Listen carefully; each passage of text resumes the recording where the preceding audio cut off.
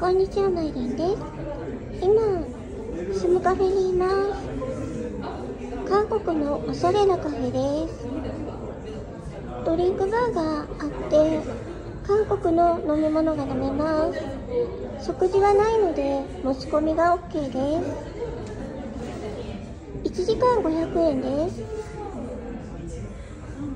息子と2時間いる予定です。前金でました。スムカフェは8階にあるので見晴らしがいいです。